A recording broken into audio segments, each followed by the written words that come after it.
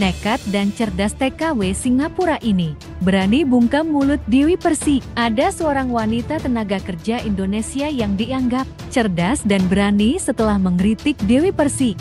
Jadi kalau mau fitnah-fitnah aku mikir seluruh Indonesia. Jadi kalau mau jadi artis mikir kalau masih kena mental sama serangan netizen jangan jadi artis tutup kolom komentar jangan punya sosmed TKW bernama Ranite ini dianggap bukan TKW biasa, itu karena semua yang diucapkan terhadap Dewi Persik bikin netizen pada setuju. Jadi video saya ya hari ini isinya Dewi Persik, Dewi Persik, Dewi Persik. Baru disentil sama Rizky Bilar satu kalimat doang disinggung nyinggung Pak RT, nyebut Pak RT. dia udah kebakaran jenggot. Lah kemarin-kemarin dia ngehina si Lesti, ngehina si Bilar abis-abisan. Ya semua bahasa keluar. Semua aib keluar. Ini baru disinggung disentil sedikit aja dia udah kayak ini artis satunya emang artis maha benar ya. Artis tersombong ya. Artis yang nggak mau disalahin paling bener sendiri ya. Artis yang omongannya kasar tapi herannya kenapa selalu dikasih panggung sama stasiun televisi saya sebagai babu ya babu luar negeri itu ngerasa perbedaan antara televisi-televisi luar negeri dengan Indonesia itu jauh banget ya. Di luar negeri nggak ada ya bahasa-bahasa kotor yang ditontonin di televisi nggak ada. Apalagi gosip-gosip masalah rumah tangga gosip-gosip masalah perselingkuhan itu nggak ada ditutupi. Apalagi masalah pembunuhan pembunuhan itu nggak ada di TV Singapura tuh nggak ada diekspos. Tapi heran TV Indonesia ya artis yang perselingkuhan aja di, diundang dipanggil dapat penghargaan. Dewi Persik yang omongannya boprok kayak gitu aja dikasih panggung. Kalau saya boprok omongannya di sosial media wajar. Saya kan babu. Ya babu mah bebas mau ngomong apa aja. Lah artis loh artis ini Dewi Persik ini kan ditonton ribuan bahkan jutaan masyarakat di seluruh Indonesia bahkan anak kecil juga nonton bahkan ngomong binatang keluar semua kemaluan omongan kotor-kotor keluar semua dari mulut si Dewi Persik. Tapi herannya kok masih dikasih panggung gitu loh. Nggak ditonton sama masyarakat gimana? Ya karena omongannya udah keluar di sosial media share sana share sini. Ya menyedihkan pokoknya televisi televisi Indonesia mau jadi apa negara kita kalau yang ditontoninnya kayak gitu itu. Ya udah mah wanita-wanita Indonesia ini sekian persennya jadi TKW semua ya anak-anak pada kurang kasih sayang karena ibunya menjadi tulang punggung kerja di luar negeri. Ya bertahan di Indonesia terpuruk nggak bertahan anak kurang kasih sayang. Ditambah tontonan-tontonan di sosial media yang seperti itu. Sangat sedih.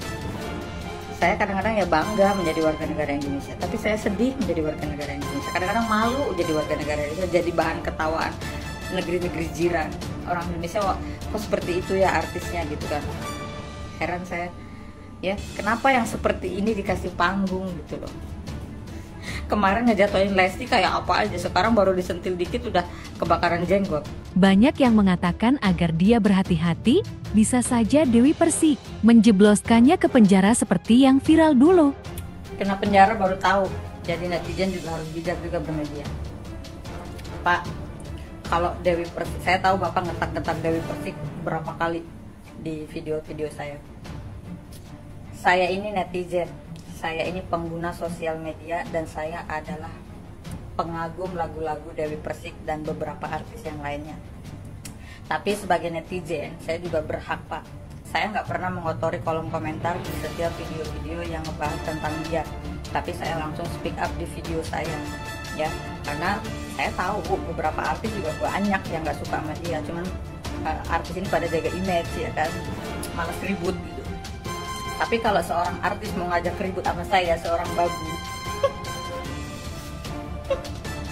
Makanya saya sebagai babu bebas bersuara. Mewakili para netizen dan para artis mungkin yang nggak suka sama dia. Saya wakilin deh ya. Saya wakilin di sini. Jujur ya. Banyak artis yang sukses tapi nggak ada yang sombong dan urakan oke lah karena mungkin orangnya udah nyenggol dia pribadi secara personil. Ini saya senggol secara personil sampaikan kepada Dewi Persik. Nggak semua orang bisa kamu penjarain hanya karena nyenggol dirimu. Oke? Bapak Presiden aja Bapak Joko Widodo. Ya sama rakyat. Yang dipajang fotonya seperti monyet lah seperti apalah. Nggak pernah berkomentar apa pun. Ya cuma Dewi Persik disenggol netizen kalang kabut. Terus saya mau dipenjarain atas dasar apa? Come on atas dasar apa saya dipenjarain mau ribut sama babu. Level lu di mana? Ya. Levelnya di mana mau ribut sama babu? Itu suara saya ya sebagai netizen yang mengungkapkan kekecewaan kepada salah seorang public figure yang bahasanya barbar di sosial media dan suka mitnah-mitnah orang tapi dia dipitnah nggak terima. Apa yang diomongin tentang dia itu bukan fitnah. Kalau fitnah itu adalah sesuatu yang nggak pernah terjadi terus kita gibahin. Lah ini mah emang fakta di sosial media ya kan? Nggak ada yang memfitnah dia itu, semuanya fakta gitu. oke kalau mau dilaporin ke polisi silakan. Tapi atas dasar apa? Mau banding banding ini oke saya kasih perbedaan di sini menurut versi saya ya menurut versi saya nih. Perbedaan antara Dewi Persik dengan Lesti Kejora. Kalau Dewi Persik itu di mana mana dia kentut kentutnya bau tapi kalau ada orang nuduh dia kentut dia nggak terima. Dia justru malah bilang si Lesti yang kentut. Ya dia nggak pernah bau kentutnya. Kentut dia mau wangi bau dan sedap harum dan sedap. Kalau si Lesti pinter kalau mau kentut dia cari tempat sepi. Karena dia menghargai orang-orang sekeliling. Dia karena dia sadar diri kentutnya itu bau. Ya tapi kalau di dalam rumahnya si Lesti itu kentutnya sembarangan. Itu Lesti Kejora. Kalau mau tahu perbandingannya. Paham Kakak Renite ini pun diserang buzzer pendukung DP yang menyebutnya babu aja kebanyakan gaya. Babu itu beda kelas sama artis. Lantas dia pun membalas dengan menohok dan bijak. Lagi-lagi, bikin netizen setuju dengan jawabannya.